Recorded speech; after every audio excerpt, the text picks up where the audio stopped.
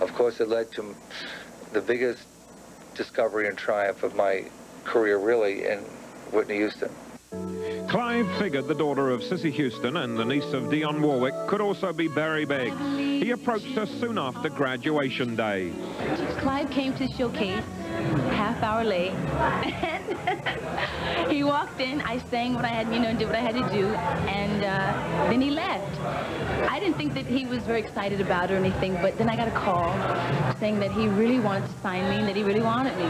Clive carefully developed his young protege's repertoire. He was rewarded when Saving All My Love zoomed to the top of the charts that was, I guess, an indication of what could be or what was going to happen. But I think that was our first big moment where we said, oh, you know, Whitney, you know, we, we talked about it. We very barely touched it, but it was like, maybe, maybe, maybe, you know, maybe we can get more, you know. But that was, I think, the most exciting, you know, when your first record goes number one.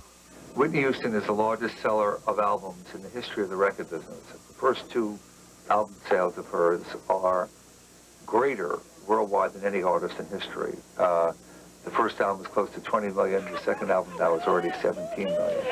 For Arista, it all adds up to a gold mine. $200 million in American sales alone.